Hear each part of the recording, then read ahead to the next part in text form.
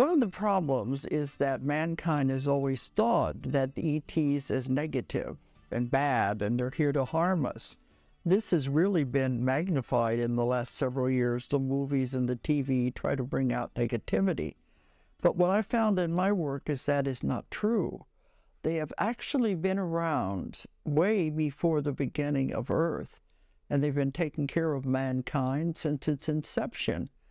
And they're not, not to be feared because they're here taking care of us and watching over us.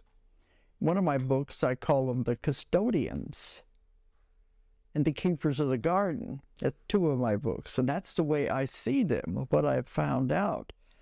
Because what people don't realize, they have not just latecomers. They haven't just come in the last several decades. They've been around forever.